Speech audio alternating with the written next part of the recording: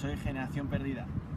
En el sentido de que eh, sucedió es que en su momento prefirió terminar su formación, sus estudios, en vez de ponerse directamente a trabajar.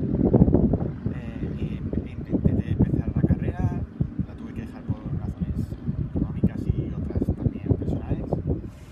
Y hice más estudios, un grado superior y varios cursos, ¿no? Y soy generación perdida porque pertenezco a ese grupo de gente que ahora no encuentra trabajo a pesar de tener formación por falta de experiencia, dado que la situación económica ha hecho que muchas empresas hayan tirado a mucha gente con una amplia experiencia, con lo cual competir contra esa gente es imposible prácticamente, porque tienen formación y experiencia eh, inmediable.